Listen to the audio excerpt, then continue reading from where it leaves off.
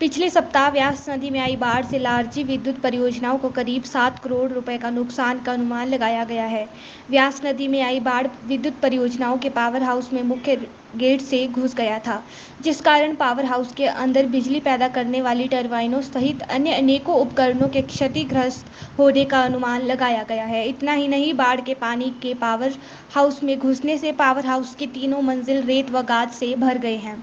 बाढ़ का पानी पावर हाउस के मुख्य द्वार होकर घुसा, जहाँ से आम कर्मचारी व अधिकारी हर रोज आते जाते हैं। अनुमान तो यह लगाया जा रहा है कि पावर हाउस के बाढ़ के पानी घुसने से विद्युत उत्पाद करने वाले सभी उपकरणों को क्षति पहुँची है, जबकि रेत, पानी, गाद से भरे पावर हाउस के अंदर तक पहुँच पहुँच पाना मुश्किल हो गया है। सर, जो बाढ़ के कारण लार्जिक व्यक्त को कितना नुकसान हुआ है और कब तक उम्मीद है कि शुरू दोबारा हो जाएगा? सर, लार्जी प्रोजेक्ट को इस बाढ़ से जो 9 और 10 तारीख को आई है, इससे तकरीबन छः सौ अठावन करोड़ रुपए का नुकसान हुआ है, सिक्सटी एट करोड़ का। और अभी हम डी वाटरिंग कर रहे हैं। हमारी पावर हाउस कैबिन में, मैट में तकरीबन पचास हज़ार किलोलीटर गाद और पानी भरा हुआ है। इसकी डी वाटरिंग हम कर रहे हैं।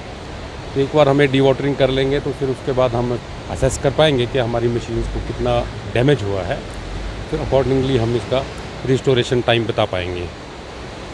सर जो बाढ़ आई उसका रोड भी जो है वो पूरी तरह से टूट गया तो इससे क्या दिक्कतें आ रही है? कुछ क्या स्थिति है?